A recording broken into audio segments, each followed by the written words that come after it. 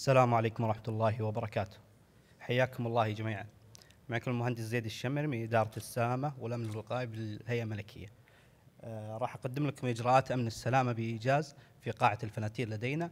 ثمان مخارج متوزعة على الأطراف عليها لوحة خضراء مكتوب فيها مخرج خروج. في حالة آه، حدوث حالة الطوارئ لا قدر الله يرجى التوجه بهدوء إلى نقاط التجمع الموجودة في آه، مواقف السيارات وشكرا لكم.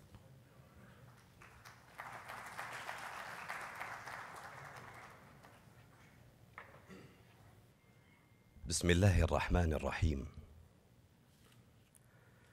الحمد لله رب العالمين والصلاة والسلام على أشرف الأنبياء والمرسلين. نبينا محمد عليه وعلى آله وصحبه أفضل الصلاة وأتم التسليم. أصحاب السمو أصحاب المعالي أصحاب السعادة ضيوفنا الكرام. السلام عليكم ورحمة الله وبركاته. ما زلت أؤمن بأن العبرة ليست في أن تحيا حياة صاخبة مكتظة بالضجيج وكثرة المعارف والعلاقات الاجتماعية الممتدة على اتساع الأرض. ليست العبرة أن تكون مشهورا يعرفك الجميع. من المهم أن يكون لك أثر وصوت على الحياة. لكن الأهم أن يبقى هذا الصوت والأثر حين تغيب. الأهم أن تبدأ الضوضاء في غيابك أكثر منها في حضورك. أن يمتد عمر أثرك ويعمر على هذه الأرض. الأمنية ألا تنسى يا صاحبي ألا تنسى. صرت أردد كثيرا. طيب الله البقاء وعمر الله الأثر. اليوم هو اليوم العالمي للتطوع فما أجمل أن تكون مؤثرا تصنع الأثر وتخدم به المجتمع. اليوم العالمي للتطوع هو يوم نجتمع فيه لتكريم أولئك الذين قدموا اعمالا تطوعية لمجتمعهم وأيضا للتوعية بأهمية التطوع وآثاره الإيجابية على الفرد والمجتمع. الهيئة الملكية بالجبيل تحييكم جميعا في هذه المناسبة التي جاءت من أجل بل تزامنا مع اليوم العالمي للتطوع. أهلا ومرحبا بكم من جديد ونبدأ بآي من الذكر الحكيم يتلوها الشيخ إبراهيم العجلان.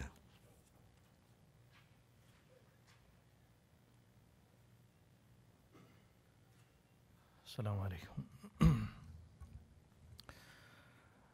أعوذ بالله من الشيطان الرجيم. آمن الرسول بما أنزل إليه من ربه والمؤمنون. كل آمن بالله وملائكته وكتبه ورسله. لا نفرق بين أحد من رسله.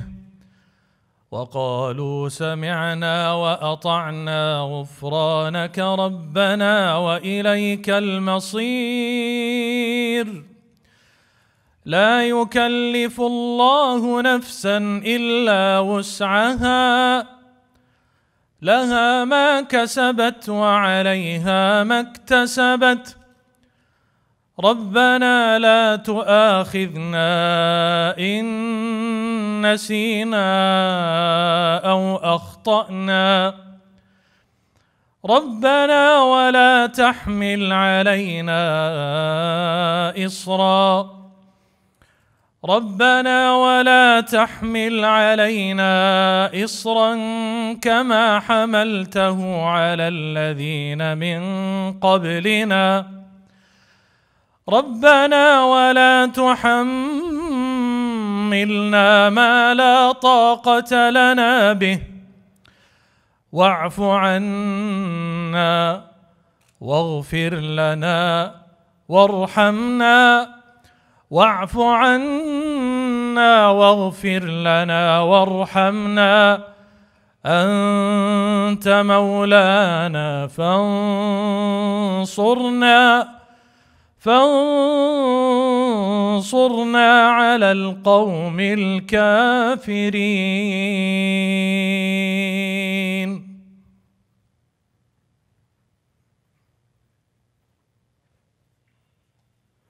الآن أيها الحفل الكريم عرض مرئي وهو بعنوان بتطوع تفتخر الجبيل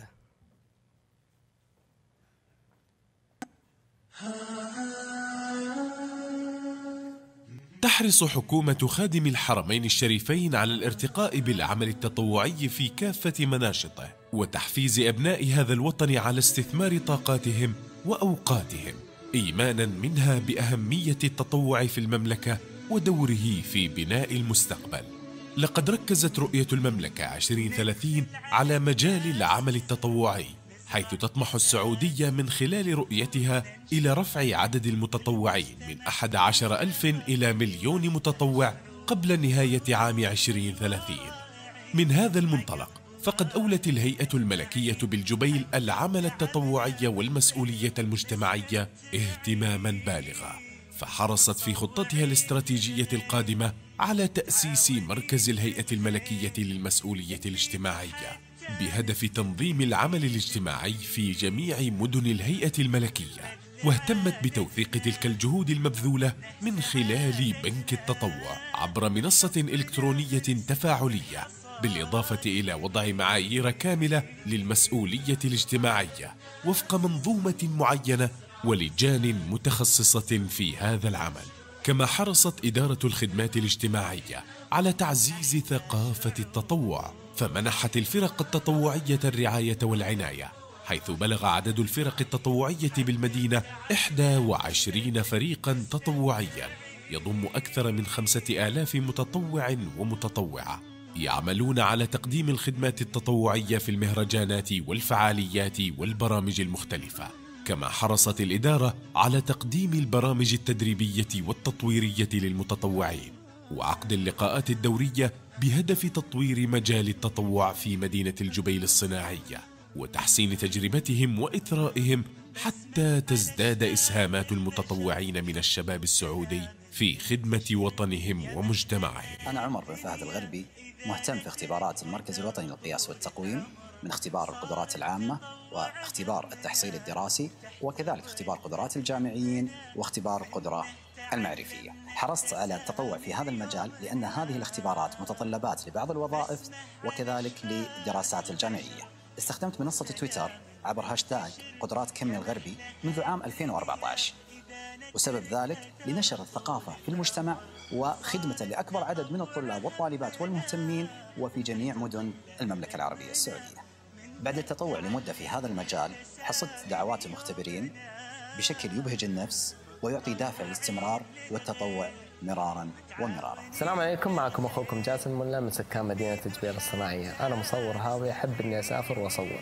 في جولاي 2018 كانت رحلتي الأولى لليابان بهدف التصوير والسياحه وزيارة بعض الأصدقاء هناك. أول ما وصلت مطار ناريتا في طوكيو اكتشفت أن اليابان ضربها إعصار وصلت سرعة الرياح ل 285 كم بالساعة مما أدى إلى أنهم يكفون كل المطارات ما في أي شيء يدخل أو يطلع. وأن في متضررين واجد. في هاللحظة هذه أنا قررت أني أكون أساعد ما أحد يساعدني. وأني أشوف طريقة إني أخدم فيها الناس لأن هذه فرصة إني أمثل ديني ووطني. في اليوم الثاني انضميت إلى عائلة أو كانت من ضمن الخطة إني أسكن عند عائلة يابانية، طلبت من العائلة اليابانية إنهم يسجلون اسمي مع من ضمن المتطوعين مع الجيش الياباني بعد ما شفت نسبة الوفيات اللي كانت في المنطقة هذه وصلت 120 حالة وفاة وأكثر من 300 فقيد.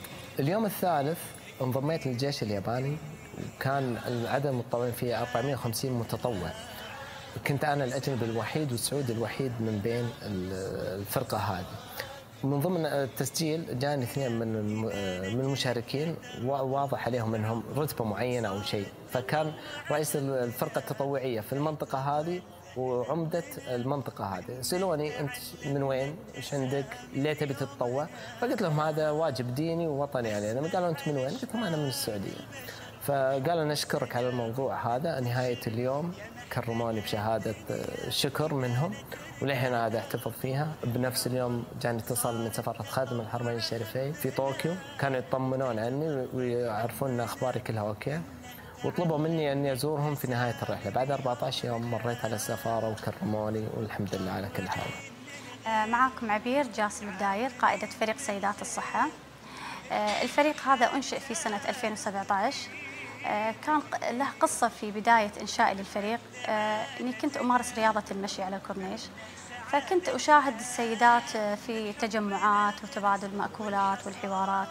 لكن أين استقلال آه، الشواطئ والمنتزهات الموجودة في الجبيل فنشأت عندي هذه الفكرة فحبيت أني آه، الفكرة يكون لتوعية السيدات عن أهمية الرياضة أهمية الغذاء الصحي.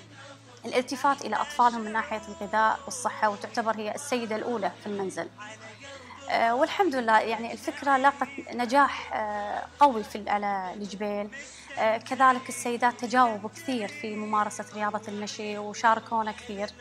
فالحمد لله على نجاح الفكرة. آه، من المواقف المؤثرة من خلال تطوعي بفريق سيدات الصحة آه، ان جتني سيده أثناء ما كنت أمارس رياضة المشي على الكورنيش آه، حاملة بإيدها بوكيه ورد. آه، فكانت جايتني مبسوطة إن تبشرني أو تبلغني إني أنا رميت أدوية الاكتئاب آه، من خلال ممارستها معانا رياضة المشي. فهذا أدخل سعادة كبيرة حسسني بقيمة العمل التطوعي اللي أنا قاعدة أدي لهم أو أقدمه لمجتمعي.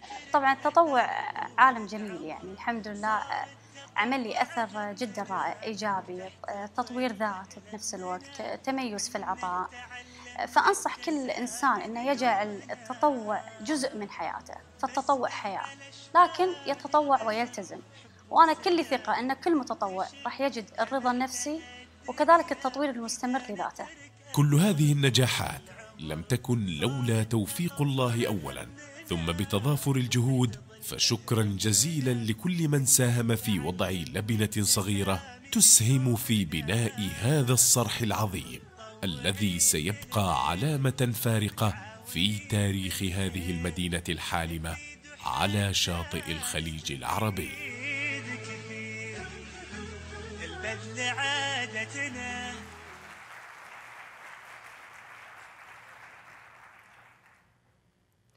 الآن أصحاب السمو والمعالي والسعادة ضيوفنا الكرام مع كلمة سعادة الرئيس التنفيذي للهيئة الملكية في الجبيل المهندس مصطفى بن محمد المهدي.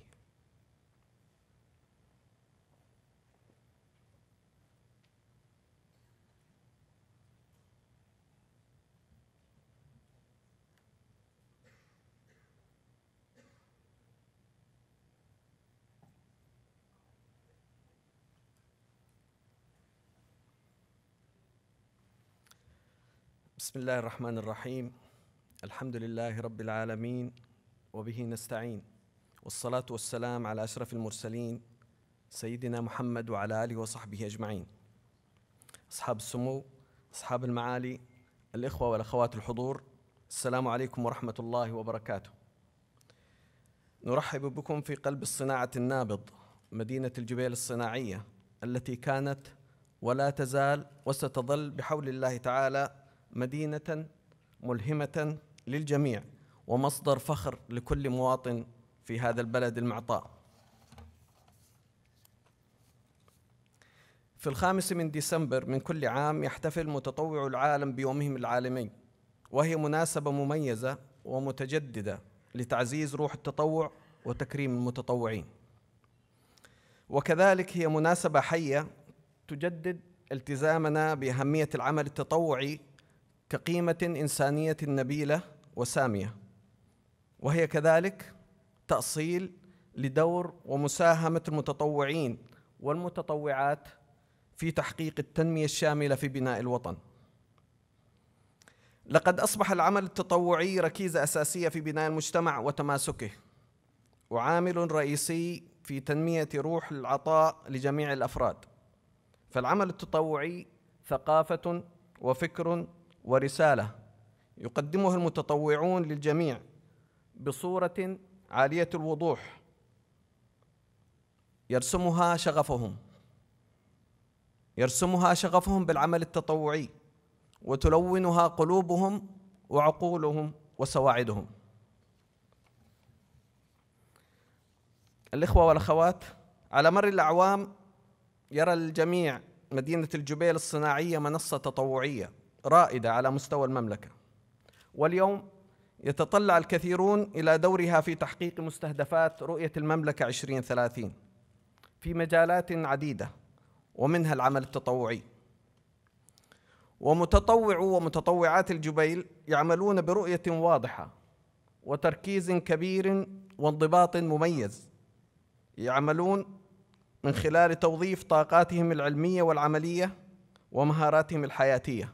وكذلك خبراتهم المهنية. في تحقيق أهداف العمل التطوعي المتوافق مع التوجه التنموي الذي تعيشه المملكة هذا اليوم. لقد أولت الهيئة الملكية بالجبيل العمل التطوعي والمسؤولية الاجتماعية اهتماما بالغا فحرصت على تأسيس مركز الهيئة الملكية للمسؤولية الاجتماعية والذي يهدف إلى تنظيم العمل الاجتماعي في في جميع مرافق الهيئة الملكية.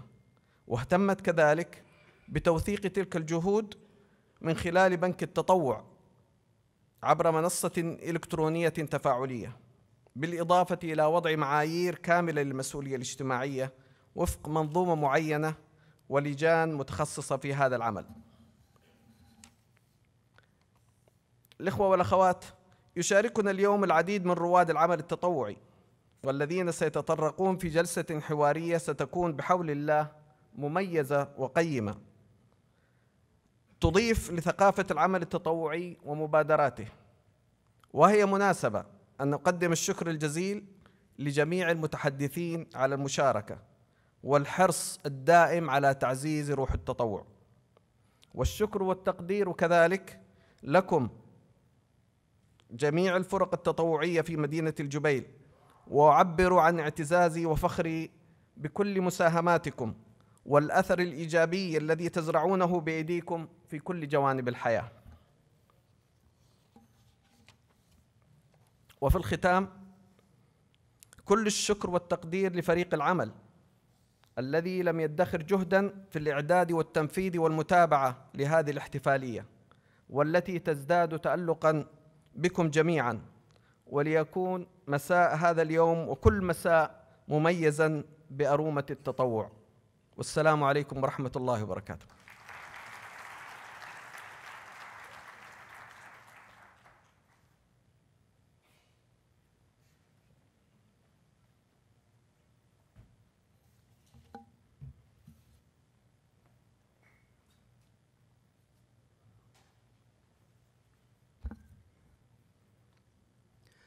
الآن أيها الجمع الكريم يتم تدشين نادي الهيئة الملكية التطوعية.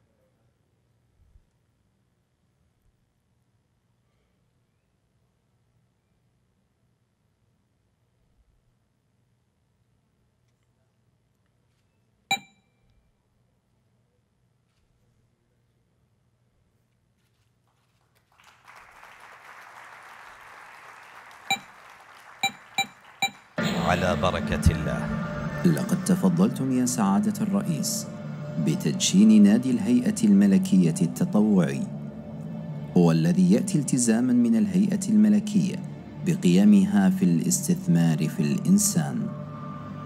يهدف النادي إلى تعزيز ثقافة التطوع والمسؤولية المجتمعية وترسيخ القيم النبيلة القائمة على التكاتف والتعاون إضافة إلى توظيف قدرات وإمكانات الكوادر البشرية من موظفي الهيئة الملكية بالجبيل ورأس الخير بحيث يسهم في بناء بيت خبرة جاذبة لممارسة العمل التطوعي والإبداعي بمدينة الجبيل الصناعية.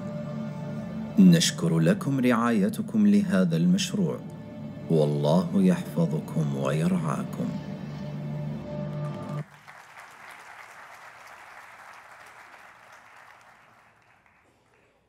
نبارك هذا التدشين ونسأل الله المزيد من التوفيق. والآن أيها الإخوة والأخوات نبدأ فعالية رائعة بإذن الله ألا وهي الجلسة الحوارية التي جاءت متزامنة مع اليوم العالمي للتطوع. سوف أدير الجلسة وأدعو الآن ضيوفي الكرام. سمو الأميرة. الدكتورة الجوهرة بنت فهد بن محمد آل سعود مديرة جامعة الأميرة نورة بنت عبد الرحمن سابقاً.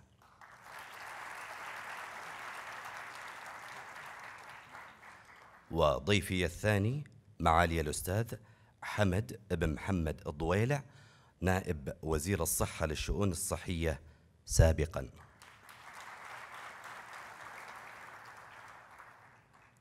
وضيفي الثالث الأستاذ الدكتور عبد الله بن محمد الفوزان وهو عضو مجلس الشورى وأمين عام مركز الملك عبد العزيز للحوار الوطني. وضيفي الرابع الأستاذ الدكتور فهد بن حمد المغلوث وهو أمين عام مؤسسة جائزة الأميرة صيته بن بنت عبد العزيز للتميز في العمل التطوعي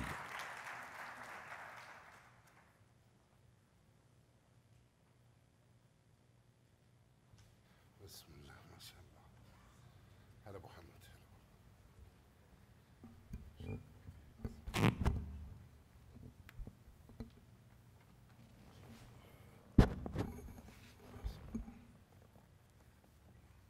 حياكم الله جميعا. ووددت حقيقة يعني بمقدمة بسيطة يعني وهي لنا جميعا. عندما تضع أهدافا في مسار حياتك وتعمل جاهدا على تحقيق كل هدف هنا وبالتأكيد سوف تشعر بالسعادة. ولكن صدقني ستشعر بسعادة مختلفة تماما إن كنت سببا لسعادة الآخر. وذلك إما أن تكون مبادرا أو متطوعا. إن شاء الله في هذه الجلسة سوف نتحاور بشكل عام عن التطوع. وأرحب فيكم أنتم ضيوفنا الكرام آه، وأرحب أيضا بضيوفي في الجلسة. فقط أردت التنويه أيضا لمن أراد المشاركة والمداخلة أو أي استفسار. نرحب بمشاركاتكم ومداخلاتكم ولكن بعد نهاية الجلسة الحوارية.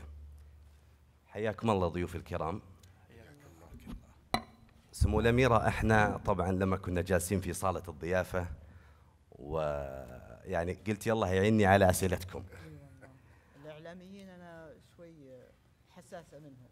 لا لا ابدا. الموضوع عن التطوع ولكن بما إنك قلت يلا يعيننا على أسئلتكم ودنا نفتتح هالجلسة المباركة بسؤال لسموك الكريم. كلمينا بس بشكل عام عن أهمية التطوع ومدى يعني أثر التطوع إذا كان يعني في المجتمع أعمال تطوعية منظمة. بسم الله الرحمن الرحيم. والحمد لله القائل في محكم كتابه. وقل اعملوا فسيرى الله عملكم ورسوله والمؤمنون. والصلاة والسلام على هذه البشرية معلمها سيدنا محمد وعلى آله وصحبه ومن تبعهم بإحسان يوم الدين. بادئ ذي بدء أشكر هذه المبادرة الكريمة الطيبة من هيئة الهيئة الملكية للجبيل الجبيل وينبع ومن إدارة التعليم وأشكر ابنتي الفاضلة الأستاذة فوزية الطوالة التي كان لها دور في التواصل معي لهذا الحضور. أه الحقيقة بالنسبة للعمل التطوعي هو عملية أه مشتركة أو عملية أه مشاركة ما بين المجتمع بأفراده ومؤسساته وبين القطاع الحكومي لأن كما تعلمون أن المجتمع الآن دخلت عليه احتياجات ودخلت عليه تحديات كثيرة فما لا يمكن للقطاع الحكومي أن يفي بهذه الأغراض. فلا بد أن يكون هناك تكامل نعم. بين المجتمع وأفراده وبين المؤسسات وقطاعاتها. ليكون نساعد في التنمية وتحقيق رؤية المملكة في عشرين ثلاثين. العمل التطوعي هو إشراك المواطن السعودي والمقيم آه، في تنفيذ خطة التنمية المستدامة لعام 2030 للوصول إلى التنمية المستدامة. أنا هذا تعريفي يمكن لل جميل الله يعطيك العافية. دكتور عبد الله فوزان يعني سمو الأميرة قالت آخر حاجة قالت هذا هو تعريفي للتطوع إشراك الفرد آه أن يكون متطوع في المجتمع أيضا خدمة لرؤية المملكة. أنا بسألك دكتور عبد الله أنا أنا كفرد ليش أتطوع؟ إيش الشيء اللي يدفعني؟ إذا تسمح لي بسم الله الرحمن الرحيم. الحمد لله رب العالمين والصلاة والسلام على أشرف الأنبياء والمرسلين سيدنا محمد وعلى آله وصحبه أجمعين. بداية أهلا بهذه الوجوه الطيبة التي أراها أمامي في هذه المدينة الجميلة الوادعة. التي رأيت فيها حقيقة مدينة تستحق أن يبقى فيها الإنسان. ليتني أستطيع البقاء في الجبال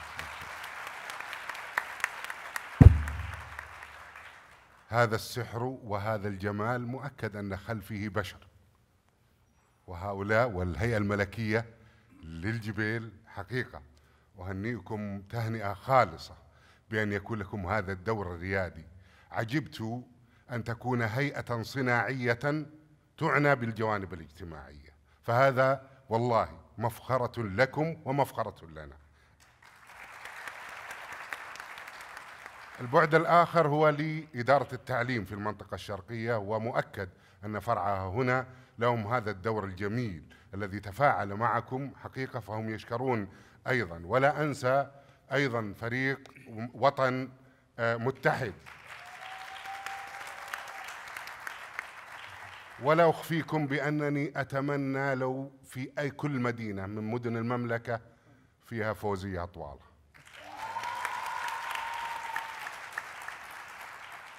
هذه الفتاة التي فعلا لديها من الطاقة المزعجة للطرف الآخر أزعجتني بالعرض. ولكن لا تملك أمام مثل هذه النماذج الشابة من شبابنا وشاباتنا إلا أن تدعمهم وتقف معهم. ولذلك حضوري هذا اليوم من هذا الباب وهو امتنان لكل من يعمل في هذا الميدان ميدان العمل التطوعي. فبارك الله في جهود الجميع. شكرا لكم. آه البعد الآخر هو هذه الوجوه الطيبة التي أمامي. حقيقة هذا مفخرة أننا نلتقي وهذا يعني يشكر لكم في الهيئة وإدارة التعليم وفريق وطن متحد أننا نتحد هذه الليلة في مثل هذه المناسبة وأن أكون بصحبة هذا الجمع الجميل أيضا من الموجودين هنا على هذا المسرح لنقدم على الأقل بعض تصوراتنا مع علمي الأكيد بأنه كلكم تعلمون أكثر مما أعلم أنا. ولكنكم أردتم أن تعطوني هذه المساحة بأن أكون معكم هذا المساء فبارك الله في جهودكم. عموما دعني أعود إلى إلى لماذا أتطوع؟ الدراسات العلمية طبعا تقول أن الناس يتفاوتون في دوافعهم نحو العمل التطوعي والثقافة لها دور كبير جدا الذي يعيش فيها الفرد لها دور كبير جدا في تحديد ما هي دوافعه. إذا أتينا إلى مجتمع زي المجتمع السعودي حقيقة سنجد أن عامل حاسم باعتبارنا مجتمع مسلم حقيقة ستجد أن الغالبية ممن ينخرطون في العمل التطوعي هو لو تسأله بيقول لك أنا أبحث عن الأجر صح؟ إذا معناته في دافع ديني في دافع ديني ورغبة في أني أكسب الأجر من الله سبحانه وتعالى هذا كدافع أساسي لماذا أتطوع؟ حقيقة هناك دوافع متعددة أيضا تتعلق في هذا. أريد أحيانا أن نخرج من عزلتي. قد يكون هذا دافع.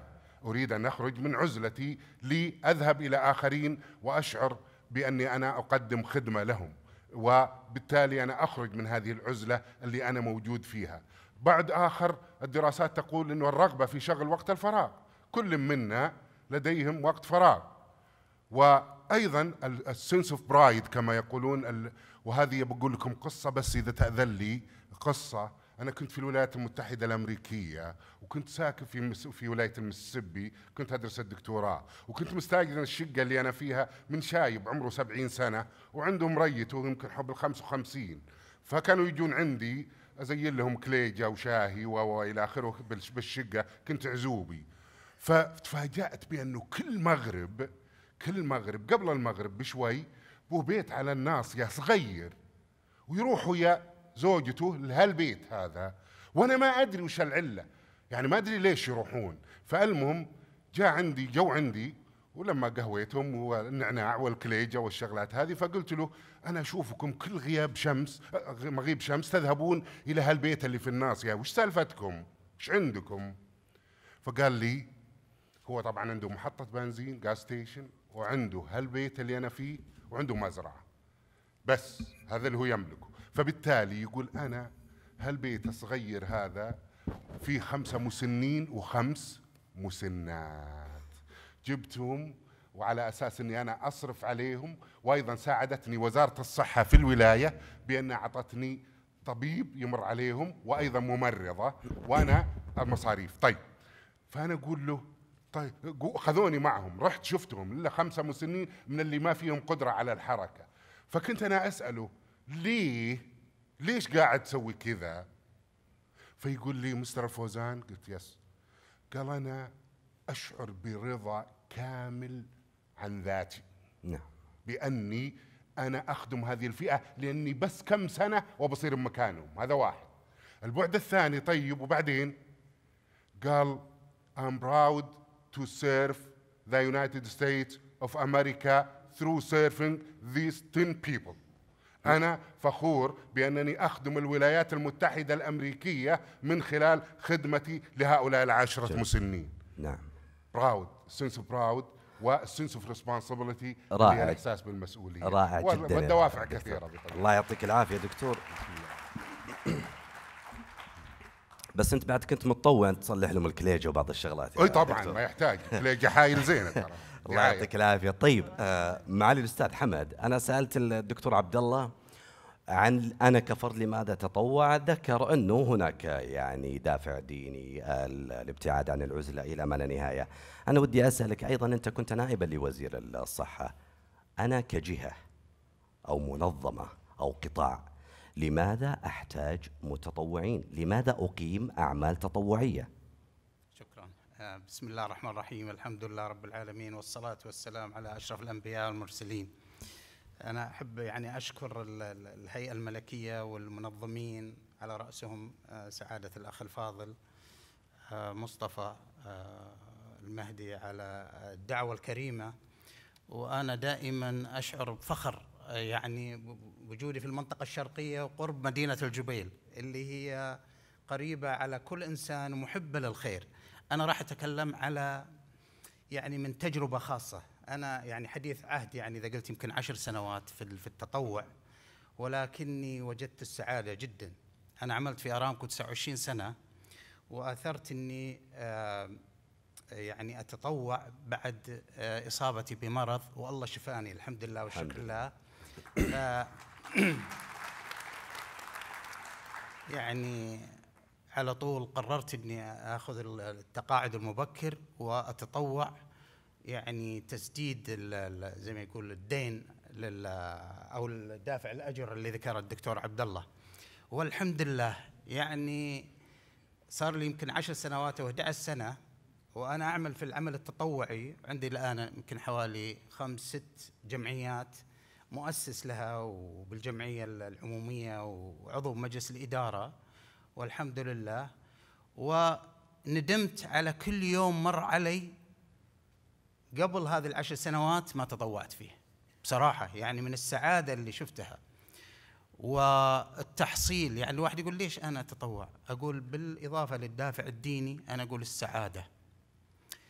رد جزء من الدين للوطن، الوطن اعطانا الكثير والكثير.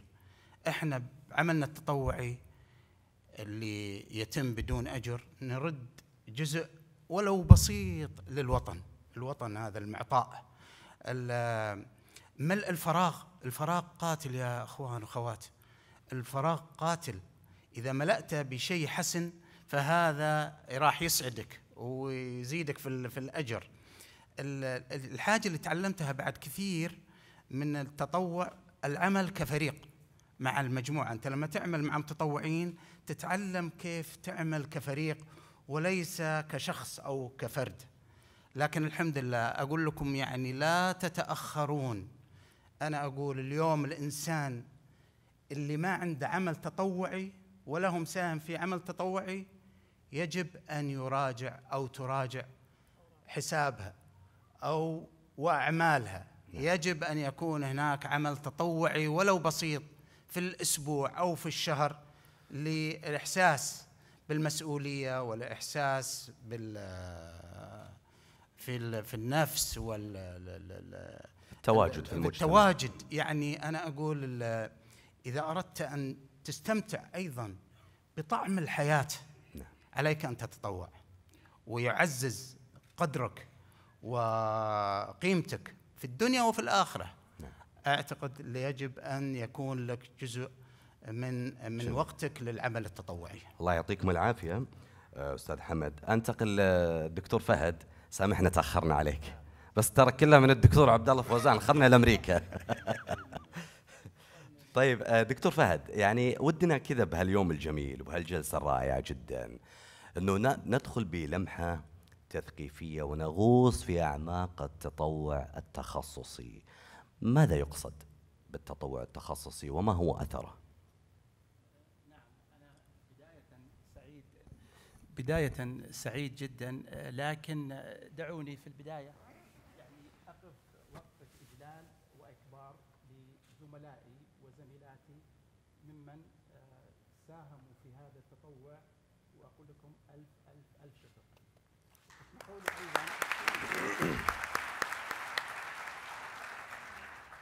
بعد إذنك آه، أستاذ مصطفى آه، يعني آه، نحن في مؤسسة جائزة الأمير السيتا يعني أقول سوف آه، نتكفل بتكريم جميع المتطوعين هنا وفي الوقت التي تحددونه.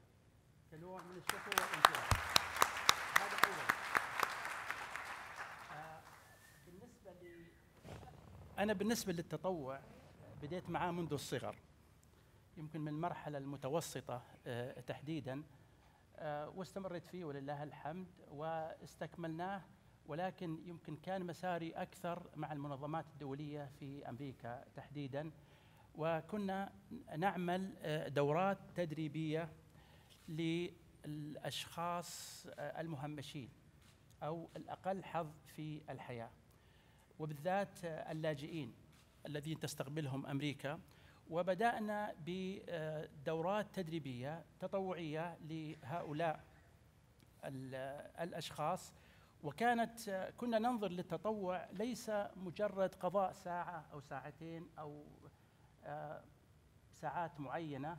كنا ننظر للتطوع من منظور آخر. التطوع هو ابتسامة ترسمها. هو كلمة شكر تقولها لأشخاص معينين.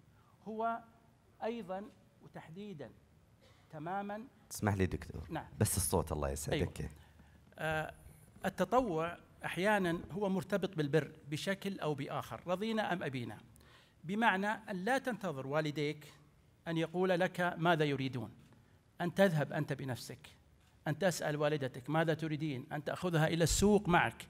بدأنا نعمل دورات تدريبية آه، لدورة إنجليزية آه، تحديدا ل كيف تستطيع أن تقول لا؟ كيف تستطيع أن تواجه المرض؟ كيف تستطيع أن تتعامل مع المواقف الخطرة في الحياة؟ وجدنا إقبال متناهي من قبل هؤلاء الأشخاص. بدأنا الدورات التدريبية وورش العمل مع آه، الممرضات والممرضين في المستشفيات. حتى بعد ما رجعنا من أمريكا في مستشفى التخصصي فبدأنا بالدورات التدريبية لهؤلاء الأشخاص ووجدنا إقبال كبير ليس من الممرضات بل حتى من الأطباء أنفسهم. وكان هناك آه، طبيب يحضرني الآن اسمه في أمريكا كان يقول لنا بأننا حينما كنا نتعلم الطب كان ليس هناك جوانب إنسانية. كنا نفكر في عدم الخطأ أن هذا هو كان مقياس النجاح عدم وجود الخطأ. ولكن حينما بدأنا في الدورات التدريبية لكيفية مقابلة المريض كيفية استقباله أين تضع كتفك؟ متى تتكلم؟ متى تضحك؟ هنا بدأ التطوع يأخذ مسار آخر من قضية أنك تتبرع بوقتك إلى جوانب أخرى. بدأنا في مستشفى في بوسطن آه، وكنا المستشفى حينما تدخل المستشفى تجد أن جميع العاملين تقريبا من المتطوعين ولكن لا يكاد يعرف ذلك. من الذي يستقبلك بالكرسي؟ هناك أشخاص معينين مهمتهم فقط آه، يحكون القصص للأطفال. آه، هناك أشخاص معينين يستقبلونك من المطارات. فكل هذه يعني هم يعني إذا شئنا هم علاقات عامة. هم علاقات عامة ولكن غير مدفوعة. فحقيقة الآن التطوع ليس مجرد قضاء وقت بقدر ما هو أيضا استفادة من الوقت بشكل دقيق جدا وتوظيفه إلى جوانب. نحن يأتينا أشخاص كثيرون يقولون آه طيب أنا الآن أتطوع ساعة ساعتين كثر خيري. ليش تطالبني بساعات كثيرة؟ فنقول له الآن التطوع أصبح صناعة أسوة بأي صناعة أخرى. فلا بد أن يحترم الوقت. لا بد أن تكون هناك عقود. وإن كان هذا ربما البعض يغضب الآن ويقول آه، ما علاقة العقود بالتطوع ولكن لكي تحترم أيضا العهود يعطيكم العافية دكتور. أرجع لك آه، سمو الأميرة. أنا أشوف إن أنت سرحتي آه، مركزه مع الدكتور أنا ناظرهم من هنا من خلال الشاشة. لا أنا شو حتى لو سرحتي أكيد سرحتي بشيء مرتبط بالتطوع. كنت بسألك عنه فقط. نعم تفضل. طيب كلمينا شوف يعني أكيد الناس تعشق آه، أسلوب القصص. وإحنا في شوق ان نستمع إلى قصة ناجحة أنت يا سمو الأميرة عشتيها وخ يعني ودخلتي في تفاصيلها طبعا مرتبطة بالتطوع سواء في عملك السابق أو قصة حتى يعني أنت مريتي في تفاصيلها والله ما ادري يعني فاجأتني بالسؤال لكن الحقيقة آم، وجودنا هنا وعطائنا هنا للإخوة الأفاضل أو الأبناء الأفاضل البنات الفضليات ما هو إلا عمل تطوعي. نعم. آم، الحقيقة في يمكن أكثر شيء أثر فيني في العمل التطوعي مجموعة انضميت إليها في الواتساب. نعم. مجموعة هي حديثة يمكن مؤسسها ما أعلم هو موجود معنا الآن ولا لا؟ الأستاذ آه، خالد بن عبد المحسن التويجري آه، استشاري وإعلامي مجموعة قضايا وطنية عن طريق الواتساب. الحقيقة أثرت فيني كثير لأنها مجموعة افتراضية وأول ما دخلت معهم كنت آه، ما يعني ألقيها اهتمام كبير. إلى أن سحبوني ووضعوني رئيسة الفريق العلمي فيها. المجموعة هذه الحقيقة لها أهداف ولها مزايا تقيم ندوات شهرية تقريبا. آه، قضايا وطنية آه، ليست لإثارة البلبلة في المشاكل قدر ما هي تركيز على القضايا المهمة وإيجاد حلول لها عن طريق آه، توصيات. نعم. لا يمكن هذه أثرت فيني كثير الحقيقة لأنها عمل افتراضي مهني آه الآن سيحول بإذن الله إلى جمعية آه تعاونية. ويمكن حنا صغار أو أطفال يمكن كانوا آه، في المدرسة أو ما إلى ذلك آه، نسمع عن العمل التطوعي لكن ما آه، نركز فيه. يمكن القدوة كانت أمامنا البر بالوالدين أو ما إلى ذلك مثل ما تفضل الدكتور عبد الله نعم. بأن الدين برضه يحثنا على ال- العقيدة الدينية والإسلامية تحثنا على عمل الخير وحب الخير وما إلى ذلك. في الآن أنا يمكن بعد ما تقاعدت يمكن ركزت اهتمامي على الأعمال التطوعية في مجالي. وهو آه، نش آه، بث ما عندي سواء من ناحية محاضرات ثقافية أو من ناحية تجربة وخبرة في التعليم نعم. أو من ناحية تخصصي في اللغة العربية نعم. أسعد أكثر شيء يسعدني الالتقاء بأبنائي وبناتي جميل. وأخواني وأخواتي وإلقاء ما عندي آه، إعطائهم نبذة شيء عن الأشياء اللي مخزوني وهذا ال- بالتأكيد شيء رائع وهذا أنا ويعتبر عم- شيء من العطاء سمو يعني الأميرة.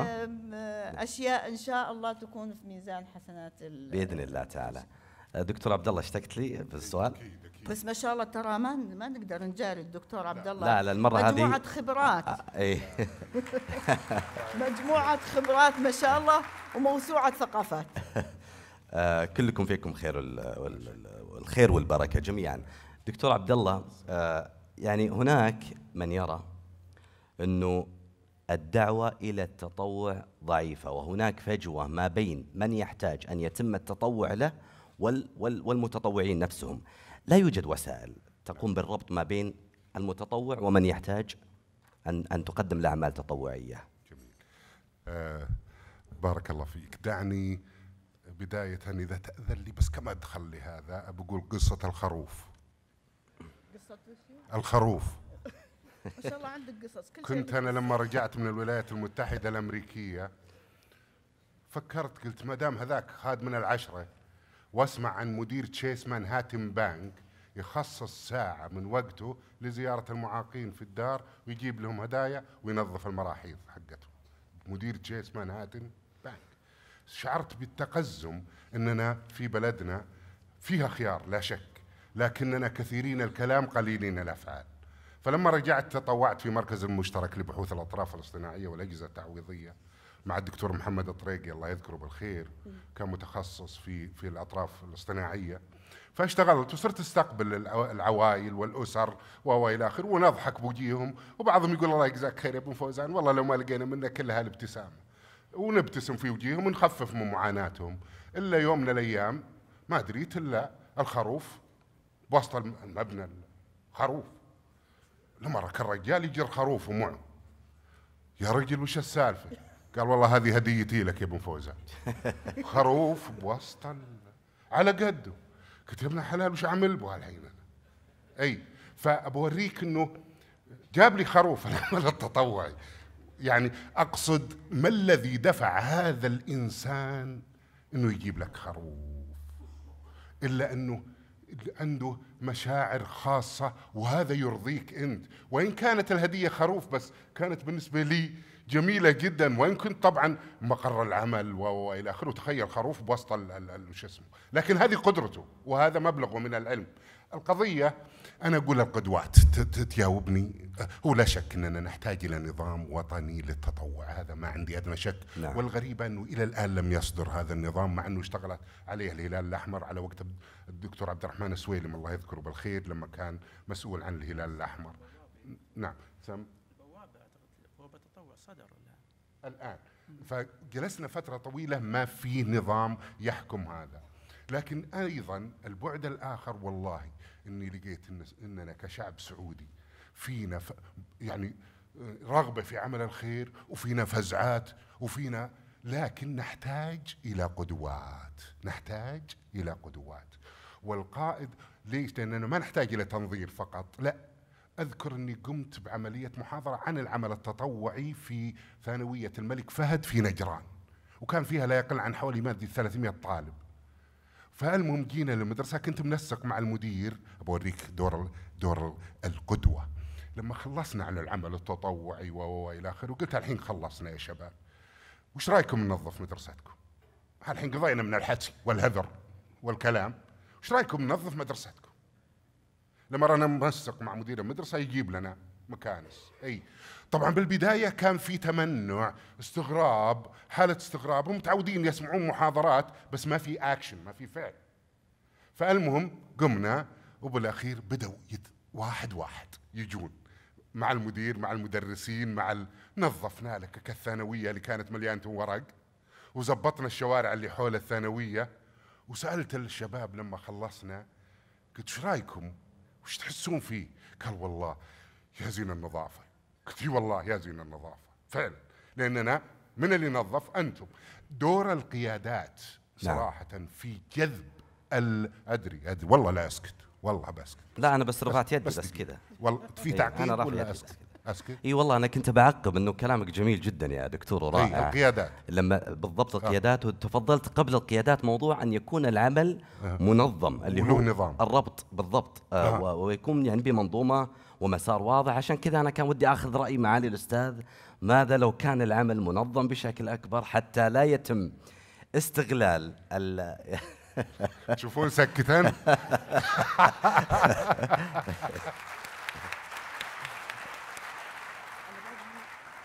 برافو عليك. ما شاء الله. جسر ترى. سمو الأميرة تصفق لي يا دكتور. جسر جميل. اي نعم. أقصد حتى لا يتم يعني أقصد ان أن يتم حماية العمل التطوعي أما من جهات مشبوهة أو أشخاص مشبوهين يستغلون الموارد البشرية أو الموارد المالية وهو أيضا تاكيدا لما تفضل فيه حبيب القلب الدكتور عبد الله الفوزان. نعم عبد الله الدكتور عبد الله ما حد يقدر يعني بصراحة. يجرأ ينافسه لا. ال- أنا مثل ما قلت لك أول ما بديت في العمل الخيري يعني أو المجتمعي بعد ما التقاعد وكلموني الأخوان رجال الأعمال. أنا أقول والله بلدنا فيها خير كثير. رجال الأعمال يعني يحبون ولكن يحبون يساهمون في عمل مثل ما قلت الكلمة هذه المنظم. إحنا لما أنا يعني بديت العمل وقلت خليني أشوف إيش موجود في البلد ودرت على عشرات بل مئات الجمعيات الخيرية وحصلت عمل كثير لكنها كلها عمل بحماس غير منظم. ولذلك أنا يعني نصيحتي لكل من آه، يلجأ إلى ال- ال- أو يحط يده أو يدها في في في العمل التطوعي أن يذهب إلى مؤسسات آه، فيها عمل مؤسساتي يعني القائمين عليها معروفين أو شركات كبيرة فيها جمعية عمومية فيها مجلس إدارة فيها إدارة تنفيذية جيدة فيها استدامة مالية. ولذلك إحنا أول ما بدينا بطعام كانت هي الشرارة في ال- والحمد لله بعد ما نجحت طعام والله يعني شو أقول لكم يا أخوان ويا أخوات آه، كانت تجيني مكالمات يعني إذا ما أبالغ أقول بالمئات باليوم. نعم. الكل يبغى يدفع. غرقنا فلوس. ما شاء الله. غرقنا فلوس. يعني يوريك إنه كيف كيف ال- اللي بيعطي سيارة اللي بيعطي قلنا لا لا اصبر شوية يعني إحنا هدفنا مو يعني حتى القائمين عليها. يعني الأخوان كثيرين ال- ال- ال- عبد الله الفوزان وعصام المهيد وابو عبد الله الزامل كلهم. يعني أنا صارت عندي قناعة كل واحد اسمه عبد الله الفوزان ما شاء الله. مميز يجزاك يحب خير. الخير. الله يحفظك.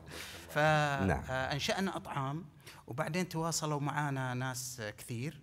واليوم بعد عشر سنوات عندنا خمس مؤسسات. ما شاء الله. آه، يمكن أربعة منها ال- ال- الهيئة الملكية تدعمنا بدعم قوي بصراحة. وأنتم محظوظين بصراحة في الجبيل بوجود الهيئة الملكية وسابق المؤسسات هذه. طيب. إذا تدعو آه، معالي الأستاذ إنه- والله ولا ولا أقولها مجاملة لأن الهيئة الملكية طبعا الشركات كثيرة نعم. لكن وجود الهيئة الملكية وأنا شفتها هذه بإطعام لأن حطيت يدي فيها كثير آه، عندهم معايير يسحبونك معاهم فوق. آه، لا ترى المكان كذا. لا آه، موظفينكم لأن تعرف فيها food handling لازم يكونون كلهم نعم. عندهم شهادات ال HACCP اللي هي آه، شهادة التغذية وبعدين امتدوا معانا عملنا مؤسسة اسمها ارتقاء هي حفظ النعمة الرقمية كل مع الفوزان ومع آه، آه، مؤسسة بيل جيتس عشان ال software ونوزع كثير وحصلنا من الهيئة توني كنت قبل شوي أشوف الأرقام أكثر من أرب- 4400 جهاز أهلنا منها أكثر من 2100 جهاز يعني. تصور 2100 جهاز من الهيئة بس وصل إلى ناس محتاجينها مو بس جهاز لا معرفة جميل جدا وبعدين طبعا أسسنا يعني لحظة اللي هو كنف الطبية نعم. نعم. اللي هي تأمين طبي للأيتام والأرامل أيضا الهيئة الملكية وصندوق موظفي سابق بر وبعض المؤسسات في الجبيل ساعدونا وفي التغطية والحصول على المستفيدين. ومهم جدا طبعا إنه من أراد أن يتطوع أقصد هذه رسالة لل- للفرد أن يتم من خلاله هو التأكد والتثبت من الجهة التي آه، أقدم عليه أو أراد أن يتعاون معها في موضوع التطوع. أنتقل لك الدكتور آه، فهد آه، وأنت طبعا أمين ل يعني واحدة من أهم ال ال تعمل لا، واحدة من أهم الجوائز المعروفة المتطوع عندما أو الفرد الذي يتطوع مرة وثانية وثالثة بالتأكيد بعد نهاية كل عمل تطوعي يحصل على شهادات. برأيك هل هذه الشهادات تخدم هذا الشاب أو الشابة المتطوعين يعني لايجاد مثلا وظيفة لتحسين الدخل؟ وشوف حقيقة يعني يمكنني أنا أقدر أتكلم بشكل دقيق جدا. لأن مثل ما قلت في البداية أنا عملي تطوعي أصلا مع منظمات دولية. فأعرف التقدير تحديدا إيش معناه. بالنسبة للشهادات ترى حتى الشهادات الآن الكثير من الجهات تستكثرها على المتطوعين والمتطوعات. مرينا بمرحلة كانوا يأتون إلينا ويقول رجاء يعني أعطونا على الأقل شهادة إثبات بأن حنا عملنا. نعم. الآن حنا مثلا في الجائزة على سبيل المثال وأنا متأكد أن في جهات أخرى ربما تكون عفوا يعني أفضل منا في الجانب هذا. نحرص على أن يعني الشهادات هذا شيء مفروغ منها بالنسبة لنا. ولكن نحن نفكر في شيء أكبر. نحن نريد أن نقول لهؤلاء المتطوعين والمتطوعات شكرا ولكن بأساليب مختلفة. المتطوع اليوم آه، قد يمتلئ شهادات وليس الكثير من الجهات تعترف بهذه الشهادات مع الأسف. يعني بالنسبة للقطاع الخاص ما تعني له شيء الشهادات يمكن شهادة شهادتين لكن بعدين نعم. آه، راح يزين بها الجدران. لكن نحن ننتقل إلى خطوة عملية أكثر. نحاول أن نطور هذا المتطوع عن طريق مهارات مهنية عملية جميل. تساعده. بمعنى لدينا باكج كامل على مدار السنة. إحنا عندنا برنامج المتطوع الصغير ابتدائي متوسط. هؤلاء يبدأون معنا في برامجنا لكن ما نكتفي فقط بالتطوع نحاول أيضا أن نعطيهم بشكل شهري دورات تدريبية متعلقة. مثلا التطوع الآن أصبح باكج كامل يعني نعم. في العلاقات العامة كيفية التعامل مع الآخرين كيفية مهارة التواصل. ال- الآن لو سألتني مثلا إيش أفضل آه، مهارة في الحياة؟ نعم. كل واحد راح يختلف لكن أنا من وجهة نظري أفضل مهارة في الحياة أنك تستطيع عندك القدرة على التعامل مع المتغيرات الجديدة. نعم. جميل جدا. هذا أفضل شيء. أنا طبعا ما راح أطول عليكم آه راح يفتح المجال لكم بعد قليل. آه من اللي عنده سؤال يرفع يده؟ آه، بعطيك راح أعطيك تعليق بس قلت بتأكد سمو الأميرة. آه طيب ممتاز. آه تعليق على كلام الدكتور. التعليق على الموضوع ككل يعني على أساس العمل التطوعي. آه، العمل التطوعي الحقيقة هم- يمكن آه، أشار له ال- سعد الدكتور عبد الله الفوزان و- والأخوة الأفاضل. آه، ينقصنا هنا علشان العمل التطوعي يصير عمل آه، يفتقر ال- العمل المؤسسي. مهم. النقطة الثانية يفتقر إلى المعايير المهنية نعم. في التنفيذ والأداء. وآخر نقطة اللي هي يفتقر أيضا إلى العمل آه، الشراكات الاجتماعية المشاركه الاجتماعية. جميل. يمكن هذه لو دعمناها الثلاثة شيء رائع. آه، مهم جدا مهم جدا ما تفضلتي فيه سمو الأميرة. طيب أنا راح أطرح سؤال موحد أو سؤال واحد على ضيوفي الكرام بعدها سيفتح لكم المجال. وأنا ودي يعني من خلال هالسؤال دكتور عبد الله يبتسم ودي من من خلال هالسؤال فعلا ما نجاري الدكتور عبد الله ما شاء الله عليه. لا خليه عليه خليه عليه آخر بعد شيء، خليه آخر شيء. آه بسأل ضيوف الكرام ودي أعرف أبدأ معك سمو الأمير. تفضل. لو أتيحت لك من بكرة نعم. فرصة للتطوع ماذا تختارين؟ حابة تتطوعين في إيش؟ السؤال جدا مهم. الحقيقة هو السؤال لو كنت أنا يعني على حسب تخصص الواحد أنا تخصصي لغة عربية. أفضل أني أخدم خدمة عامة نعم. وليست تخصصية. لكن أنا بوجهة نظري لو كنت أنا طبيبة أو ممرضة أو مهندسة أي نوع من الهندسة لاتجهت اتجاه التطوع التخصصي في الميدان. ممتاز. معالي الأستاذ؟ أنا والله جربتها بحكم عملي آه، في في الإدارة الطبية. يعني دائما أقول آه، أحلى تطوع في الحج والعمرة ما شاء الله يعني خدمة الحجاج والمعتمرين وضيوف الرحمن نعم. هذه أكبر حاجة وأنا أقول صحيح. اللي حصل له فرصة لا يتردد. لا يتأخر نعم. يعني وهذه الحقيقة ال- ال- تتميز فيها السعوديين صحيح. يتميز فيها صحيح. السعوديين خدمة الحجيج صحيح. آه، نعم. ضيوف الرحمن يمكن 6% من المتطوعين هم في خدمة الحجاج بحمد الله وتوفيق الدكتور عبد الله شكرا لك أنا في ظني أهم نقطة في في الحياة كلها تنمية الوعي. أنا متطوع عبر حسابي في تويتر بأني أنمي الوعي. إذا نميت الوعي الناس ستتطوع بطريق بشكل كبير جدا. هذا العقل هو المنطلق.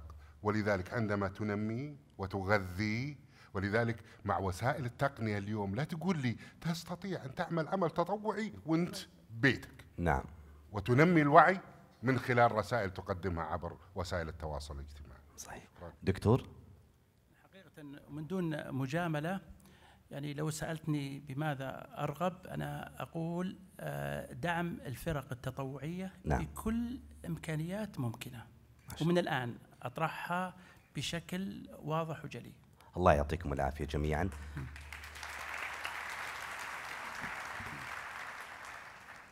طيب آه يفتح المجال لكم اللي عنده سؤال. هل في هاند مايك هنا ولا ناخذ الصوت تفضل في المنتصف. بسم الله. تفضل. طيب السلام عليكم. في البداية أحب أشكر الضيوف على الكلمات لو بس. تعرف بنفسك. طيب معاكم أحمد الشلوي. أكاديمي ومتطوع في فريق هواة الجبيل المشي. أقدم شكري للأخوة الضيوف على كلماتهم وخبراتهم الرائعة والجميلة. آه، يبون يشوفونك الضيوف الكرام. طيب بتطوع و... يا. تفضل. اي ف ضيعتوا الفكرة؟ يجاوبك الدكتور عبد الله فوزان. لا تخاف أحمد توكل بس. لا بسم الله ال- الفكرة طبعا تميزنا في ال- في الهيئة الملكية في الجبيل مشهود ومعروف والجهود تشكر وتذكر. لكن من الكلمات اللي ذكرتوها أنا عندي تعليق وطلب. آه، التعليق اللي هو مشاكل الاستغلال في التطوع. أحمد صوتك بس ترفعه مشاكل الاستغلال في التطوع والمغالطات اللي تدور حول التطوع. وارتباطها بأشياء قد لا تكون صحيحة. من المغالطات مثلا اللي هو إنه ارتباطها بال- بالغرب أو بالمؤسسات الغربية أو بالتطوع النقطة هذه واضحة موضوع الاستغلال النقطة الثانية النق- ال- طبعا أنا بربطها بفكرة إن التطوع أصل من أصول الدين، أصل من أصول الثقافة. نعم. التطوع غير مرتبط لا ببشر ولا بتخصص، التطوع قد يكون جميل. مع ال- الجوامد، مع الحيوانات، مع الطيور، إماطة الأذى عن الطريق تطوع. التطوع في ديننا افعل الخير. مع الله يعطيك شخص العافية يا ومع أي أحمد. مكان. في ال- في التعليق اللي هو عملية أن نربط التطوع بكبار السن أو بالتقا... بالمتقاعدين أو بالناس الفاضيين. المفروض يكون التطوع مع النشء وهذا هو الفكر الأساسي. وهذا اللي المفروض الآن نبدأ تأكيد الكلام الدكتور عبد الله في تنمية الوعي وزيادة الوعي مع النشء ونبدأ من المدارس. يعطيك طلبي العافية. لمعالي الرئيس. شكرا لك أحمد. في أحد بيعلق على موضوع ال- الطلب ما وصل معليش. الطلب أتمنى يكون عندنا بصفتنا مبادرين في الهيئة الملكية. يكون عندنا مقرر أو منهج في المدارس أو في الكليات مع أن الجامعات سبقتنا الآن وفي مقررات بالعمل التطوعي وبتأسيس العمل التطوعي. فاتمنى أتمنى نبادر في المدارس بزرع هذه الفكرة وتأسيس عمل مؤسسي مع طلابنا وأبنائنا وهذا هو المستقبل للعمل التطوعي وشكرا. تسلم يا أحمد يعطيك العافية شكرا لك. تفضلي. آه، شكرا على المداخلة. الحقيقة آه، ال- تنمية النشء ليس فقط في المدارس وأنا إنما نركز على تنمية تنشئة الطفل التنشئة الاجتماعية وحبه للتطوع منذ نعومة أظفاره في المنزل قبل المدرسة. آه، ما في شك أن هذه مأخوذة من تعاليم ديننا الإسلامي الحنيف لأن كل متطوع له أجر. النقطة الثانية على ال- المؤسسات التعليمية في جميع مراحلها التعليمية أن تنشر ثقافة التطوع وأن آه، تعمل علاقة ما بين المجتمع المؤسس التعليمي سواء الطلاب أو جميع مؤسساته وبين المجتمع الخارجي بين مؤسساته وأفراده لتلاحم عملية التطوع بين هذا الموقع ال- ال- المكان التعليمي وبين المجتمع وأن يربط نجاح الطالب أو الانتقال من مرحلة إلى مرحلة بعدد الساعات التطوعية وكذلك الموظف تربط ترقيته بعدد الساعات الأعمال التطوعية لأن إذا قارنا العدد عدد المتطوعين أو نسبة المتطوعين في المملكة بالنسبة للغرب وجدنا فرق شاسع بيننا وبينهم بينما نحن ديننا الحنيف يحثنا على الأعمال التطوعية وفيه أجر في الدنيا والآخرة. ف تفضل. أنا بس أحب أضيف للشق الأخير يقول يا ليت يكون عندنا في ال- في المناهج. آه، مقرر يكون في مقرر. مقرر إي أنا أقول آه، يعني آه، إحنا كان لنا محاولات مع التعليم. سعاده الأخ ناصر مدير عام التعليم في المنطقة الشرقية هنا يسمعنا وتمت إضافة مادة لحفظ النعمة. هو ال- ال- الحد من هدر الطعام. في مقرر في التربية الاجتماعية يعني واحدة من الكورسات آه ناخذ سؤال آخر السلام عليكم ورحمة الله وبركاته. محمد الزهراني مسؤول العلاقات العامة في المتقدمة وعضو فريق المتقدم التطوعي. حقيقة آه، هو يعني تقريبا تعقيب كنت أتمنى أن يسلط الضوء على صفات المتطوع الناجح، ما هي الخطوات الهامة ال- اللي كل متطوع يجب أن يتحلى فيها صفات. آه، كثير حقيقة نرى الفرق تطوعية خاصة الجبيل تختلف عن أي مدينة ثانية فيها فرق آه، متطوعة محترفة. لكن آه، في متطوعين عندهم الحماس. كيف إن إحنا كجهات وأعتقد إن الخبراء هنا ممكن يعني يوجهون المتطوع. ما هي الصفات الهامة اللي يتحلى فيها المتطوع عشان يصبح متطوع ويصبح قدوة وانعكاس. أنا ودي توجه يا محمد سؤالك لمن؟ والله شوف أنا ما أقدر لا تحرجني طيب، كلهم أوكي. كلهم قامات. لكن يمكن الدكتور فهد طيب، دكتور فهد. متخصص. فما هي الصفات اللي اللي يجب أن يتحلى فيها المتطوع؟ جميل جدا. لنرى متطوعين ناجحين. شكرا لك محمد. أنا شوف أنا دائما أحب أكون إنسان عملي وأقول يعني ربما تكون إجابتي عملية أكثر. أنا أم براغماتيك ما عندي إحنا ممكن إذا حبيتوا وتكون إن شاء الله ثمرة هذا اللقاء أستاذ عادل. آه، دورات تدريبية متخصصة سواء للأطفال أو للكبار. وأنا أفضل إنها تكون للفرق التطوع لأن عندهم أيضا بعض المهارات اللي ممكن تساعدنا في عملية التطوير. منها راح يكون في قضية لأن الآن حتى الصفات اللي راح نتكلم عنها الأشخاص المعنيين الأطفال ما هم موجودين أمامنا. فبالتالي الكلام راح يكون يعني آه، ما له داعي كثير. فلو استطعنا مثلا وأنا هذه يعني عرض أقدمه يعني آه، مجانا وكل حاجة وما فيها فضل ولا منا لأن أيضا هذا منتج وطني. المتطوعين منتج وطني ممكن نأتي هنا لو بشكل شهري. أنا ما عندي مانع. وأيضا نتدرب على المعايير العالمية وليس المعايير المحلية في كيفية اللي هو تخريج بدل ما نخرج قائد نخرج آه، متطوع مهني مؤهل يعمل في جميع المجالات. ممتاز. آه تفضل يا سمو الاميره بعدين ال- معالي الأستاذ. تعليق بسيط الحقيقة أنا أعتبر أهم صفة في المتطوع آه، هناك صفتان. آه، الإخلاص في العمل وحب العمل التطوعي. هذه إذا وجدت آه، هاتان الصفتان في في المتطوع ما في شك مع إضافة الدورات التدريبية بإذن الله آه، تكون ناجحة إن شاء الله. تفضل. أنا أقول إضافة على اللي قالوا الأخوان سمو الأميرة الاحتساب لله سبحانه وتعالى أن كل ما تقدم لا تنتظر منا يعني أي عائد وإنما يعني حسبك لله سبحانه وتعالى أن كل ما تقدم هو لله سبحانه. نعم. آه دكتور عبد الله نبغى نسمع رأيك في يعني صفات المتطوع أهم صفة أو سمة. نعم. هي هي مجموعة سمات حقيقة ولكن أهم شيء فعلا ال ال الشعور بالرغبة في تقديم خدمة للآخرين. هل لديك هذا الدافع؟ هذا مهم حقيقة في في هذا الإطار. وبالتالي أيضا علشان ترى حتى التطوع ينعكس على الشخصية يعني مو مو لازم شخصية المتطوع تكون جاهزة. التطوع أنا كنت حياوي ترونا قبل كذا ما أقدر أحكي قدامكم. التطوع سبحان الله فكك العقد اللي داخلي. صرت آه، تشوفونا قدامكم الحين أسولف. هذا لو أنت جاي قبل 25 سنة سنة تمتم قدامكم ما أقدر أقول شيء. فاذا هي علاقة ثنائية الأبعاد في خصائص وسمات يجب أن تكون متوفرة لكن سبحان الله العمل التطوعي يصقل هذه الشخصية يخرجك. كم من الناس اللي كانوا عندهم خجل؟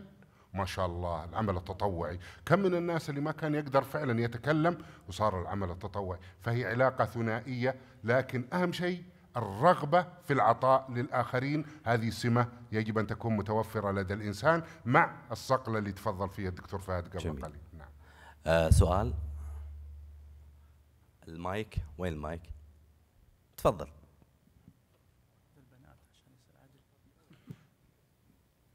طيب آه، معكم ابنكم آه، الطالب سليمان البلوي طالب المرحلة الثانوية. أول شيء أشكر الضيوف الأكارم على كلمتهم الطيبة هذه. ودي أتكلم عن نقطة معينة. أن مفهوم التطوع عندنا الطلاب أنها يا آه، تشيل المخلفات في المنتزه أو هذه الأشياء. فودي أن إحنا الطلاب يكون عندنا وجهة نظر أكثر عن نقطة التطوع هذه. فأبغى أوصل لهم المرح- النقطة هذه أن التطوع أشياء أكثر. فودي يكون أن شوي آه، التركيز علينا إحنا الطلاب في المرحلة هذه. النقطة واضحة؟ جميل. إي. واضح. واضح. شكرا لك. هل نجاوب ولا؟ إي ولا تبي تاخذ أسئلة؟ لا لا لا. آه تبون لا لا خلونا يعني ناخذ مداخلة ونعلق عليها أي. واكد عشان ما ننسى أي نقطة. بالضبط. مجالات العمل التطوعي يا ابني العزيز ويا ابني الغالي متعددة جدا. يعني أنت مثلا كطالب ثانوي تستطيع حقيقة مع زملائك أو جزء من زملائك في المدرسة أن تتبنون أي قضية؟ مثلا والله تتبنى أنت جمعية داخل المدرسة مثلا لعمل تطوعي كيف نتعامل مع وسائل التواصل الاجتماعي بما يخدم وطننا الغالي؟ مثلا هذه مبادرة أنت تتبناها داخل المدرسة وتقنع الإدارة فيها وتبدأ تتبنى. لو لذلك لا تستهين بعملك ابني. حتى ولو كان العدد قليل جدا لا تستهين. لا تقول والله إحنا دائما نبحث عن مشاريع كبرى. لا لأن يهدي أن الله بك رجل واحد خير لك من حمر النعم. فيا ابني أنتم جيل التقنية اليوم. بإمكانك أنك تدرب مجموعة من الطلاب كيف ندرب الآخرين على استثمار وسائل التواصل الاجتماعي اللي يقضون عليها ساعات طويلة في شيء ينفع أو مردود مادي لأبناء الأسر الفقيرة كيف يستثمرون وسائل التواصل الاجتماعي بما يعود بالريع على مثل هذه الأسر. وأنت شاب مؤكد أنك تتعامل مع التقنية. وأنا كأني شفت بيدك الجهاز قبل شوي ولا لا؟ كان يقرأ السؤال من الجوال. اي فبارك الله فيك. اذا المجالات متعددة. لذلك حنا علمونا المدرسة ننظف المساجد أيام زمان لما كنت أنا بالابتدائي ون- وننظف الشوارع اللي حول المسجد. هذا مجال.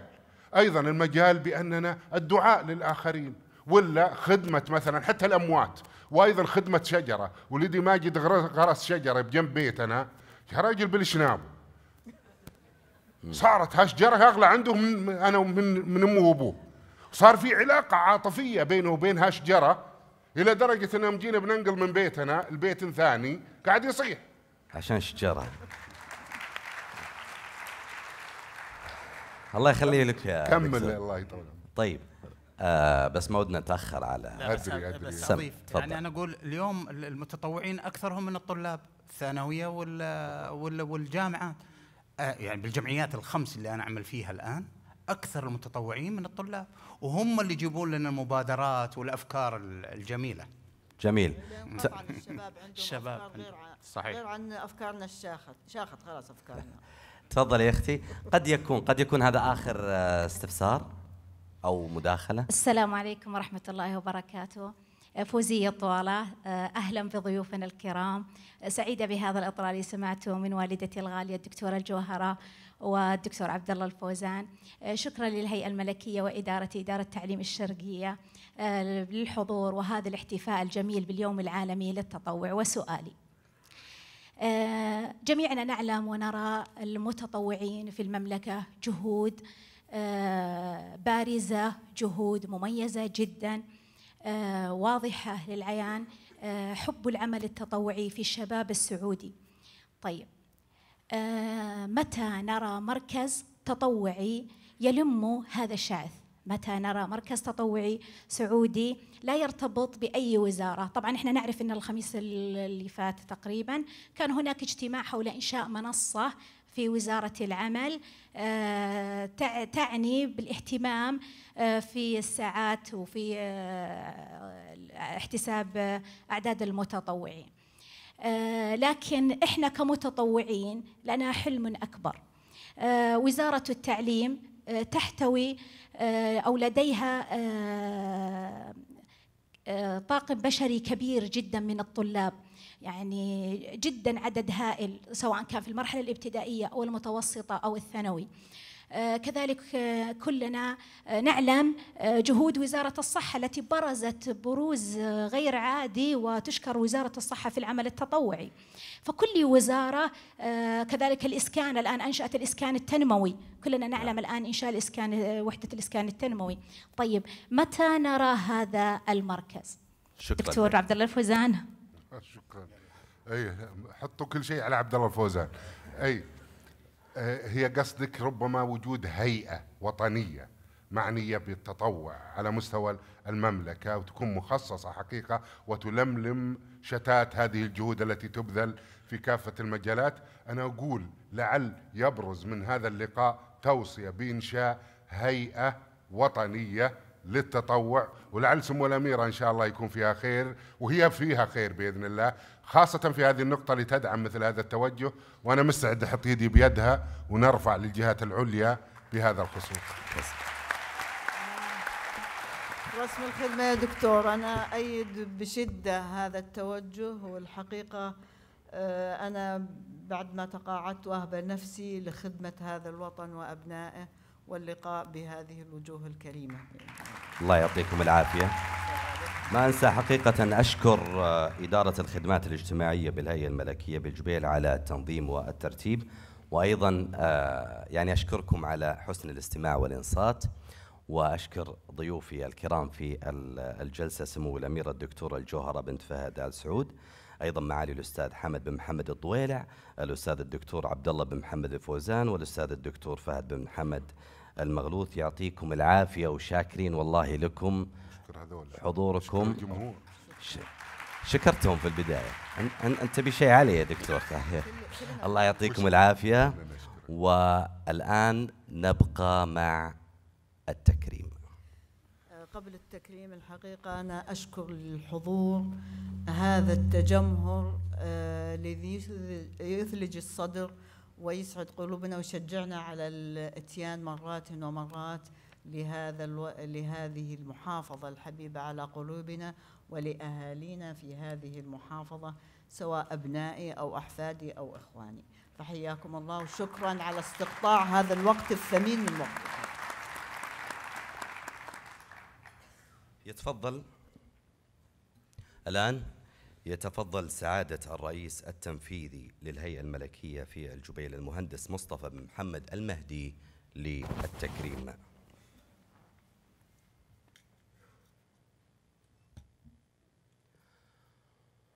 ونبدأ بعون الله وتوفيقه في تكريم المساهمين في إنجاح هذا الحفل وهذه الفعالية. سمو الأميرة الدكتورة الجوهرة بنت فهد آل سعود. مديرة جامعة الأميرة نورة بنت عبد الرحمن سابقا.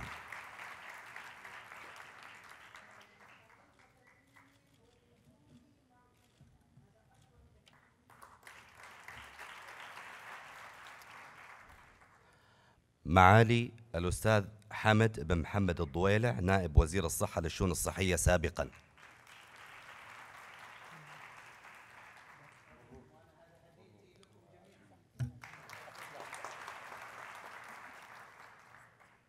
الأستاذ الدكتور عبد الله بن محمد الفوزان عضو مجلس الشورى والأمين العام لمركز الملك عبد العزيز للحوار الوطني.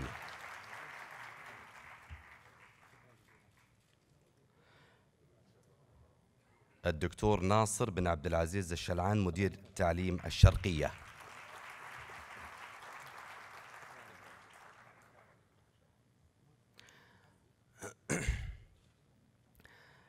والدكتور فهد بن حمد المغلوث الأمين العام لجائزة الأميرة صيتا بنت عبد العزيز للتميز في العمل الاجتماعي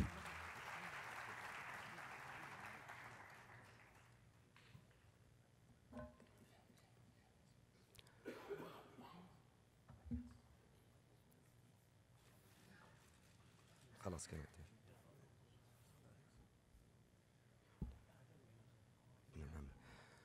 المتطوعين النوعيين. الأستاذ عبد الله إبراهيم المحمدي ويستلمها بالنيابة نيابة عنه ابنه محمد مؤسس نادي الجبيل التطوعي.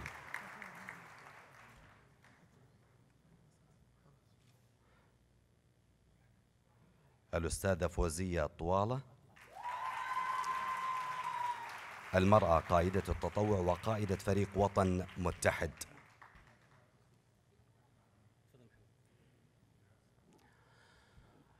الأستاذ محمد عقيل الرويلي رحمه الله يستلمها شقيقه أحمد وهي جائزة المتطوع الملهم.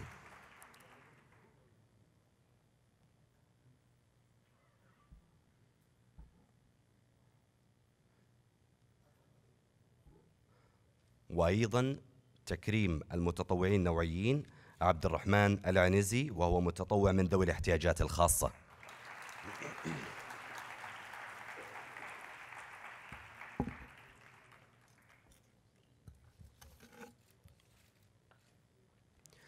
الجمعيات الخيرية في المدينة.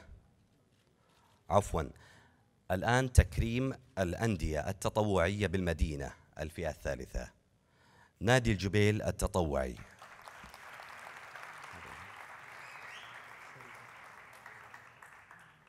شركة المتقدمة التطوعية فريق نبض الجبيل التطوعي.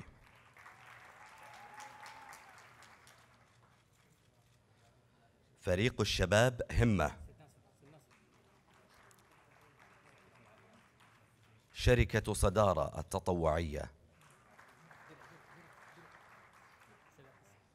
مبادرة طفلي ثروتي.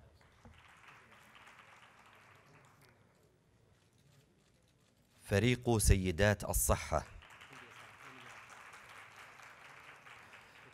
فريق الخدمات الصحية التطوعي.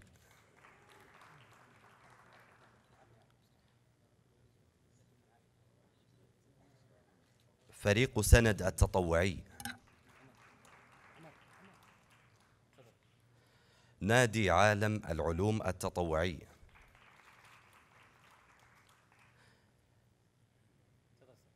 فريق هواة المشي.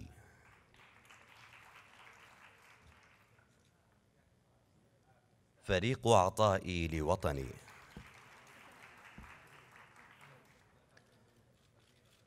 نادي غيم التطوعي.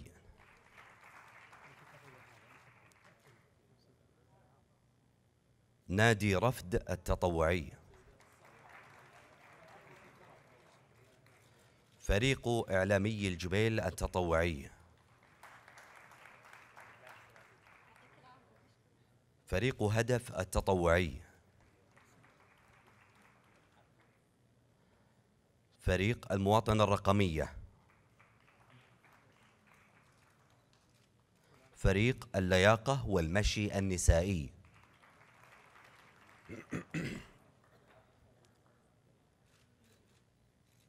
فريق شركة كيمياء التطوعي.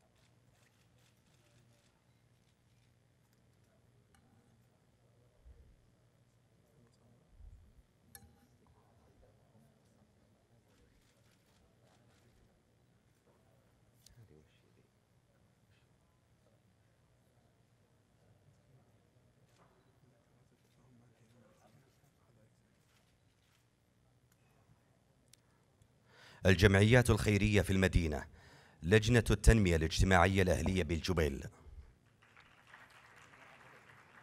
جمعية أيتام الجبيل. الجمعية الخيرية للطعام إطعام. جمعية محبة للتنمية الأسرية. الجمعية الخيرية لذوي الاحتياجات الخاصة. إرادة. جمعية التنمية بالمنطقة الشرقية وئام. المكتب التعاوني للدعوة والإرشاد ودعوة الجاليات. رسالة. جمعية الجبيل الخيرية. جمعية طيف التوحد. مؤسسة الأعمال الخيرية لعمارة المساجد. جمعية وهج النسائية الخيرية. الجمعية السعودية للفنون التشكيلية في الجبيل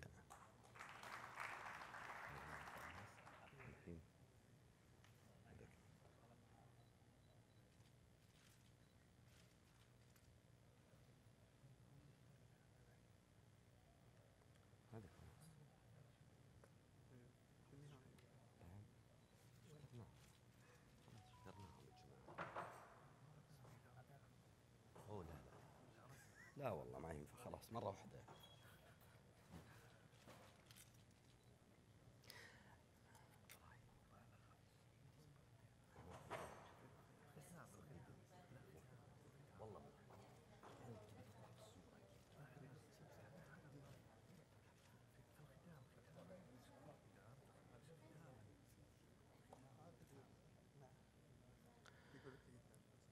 يقول بعد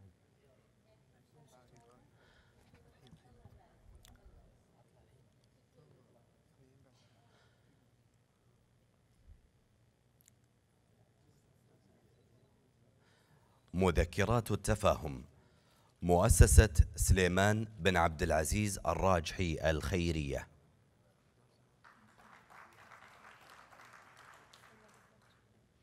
الجمعية السعودية للذوق العام.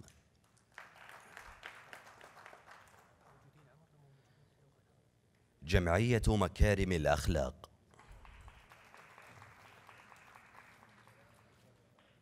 مركز بناء الأسر المنتجة جنى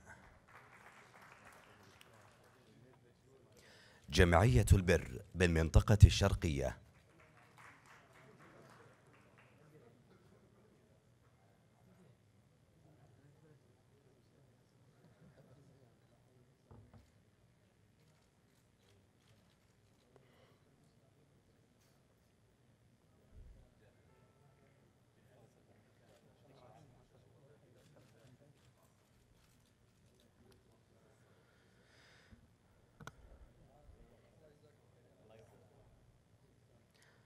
الآن تكريم نماذج تطوعية ناجحة. جاسم علي الملا. عمر فهد الغربي. عبير الدايل.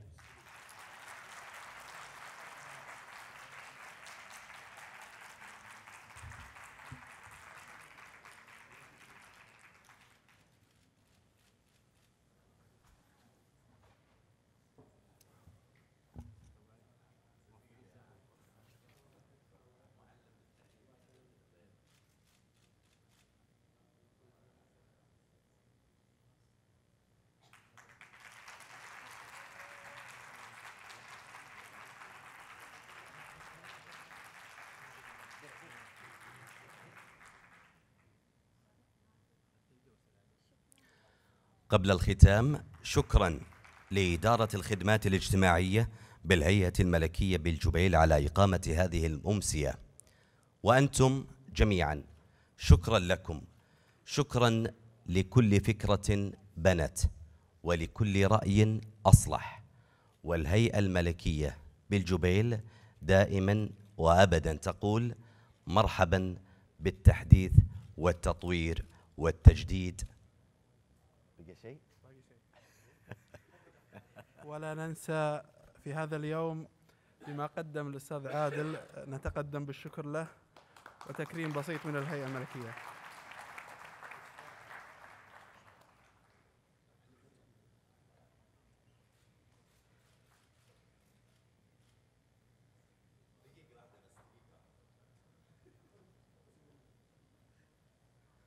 والسلام عليكم ورحمة الله وبركاته.